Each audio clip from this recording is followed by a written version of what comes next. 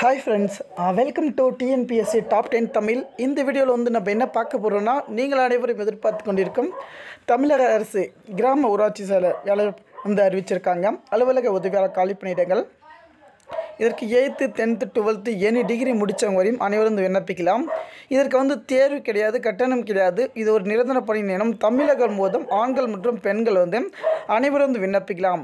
Okay உங்களுடைய சந்தூரியில் வந்து பார்த்திங்கன்னா இந்த வேலைவாய்ப்பு எப்படி விண்ணப்பிக்கிறது முழு தகவல் நம்ம பார்க்கலாம் வீடியோவை ஸ்கிப் பண்ண முழுமையாக பாருங்கள் ஓகே தமிழக அரசு கிராமப்புற வளர்ச்சித்துறை அலுவலகத்தில் காலியாக உள்ள அலுவலக உதவியாளர் வேலைவாய்ப்பு அறிவிப்பு. ஓகே இதுதான் பார்த்திங்கன்னா இதுக்கு வந்து தேர்வு கிடையாது கட்டணம் கிடையாது நேரடி பணி நியமனம் நிரந்தர அரசு வேலைவாய்ப்பு.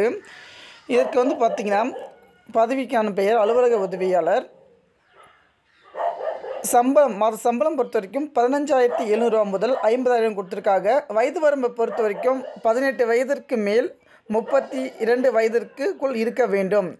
கல்வி தகுதியை பொறுத்த வரைக்கும் எட்டாம் வகுப்பு தேர்ச்சி பெற்றிருக்க வேண்டும். அல்லது டுவெல்த் எயித்து டென்த்து டுவெல்த்து என்ன டிகிரி முடித்தவங்க கூட வந்து பார்த்திங்கன்னா விண்ணப்பிக்கலாம்.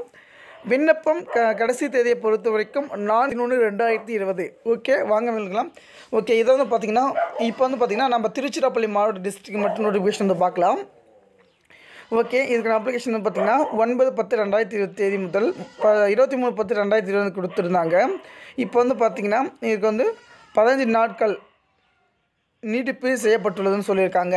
ஓகே மொத்தம் பார்த்திங்கன்னா திருச்சிராப்பள்ளி வந்து பார்த்திங்கன்னா மாற்றி மாற்றி ஒவ்வொரு கிராம வாரியாக வந்து பார்த்திங்கன்னா இந்த நோட்டிஃபிகேஷன் ரேஸ் பண்ணியிருக்காங்க.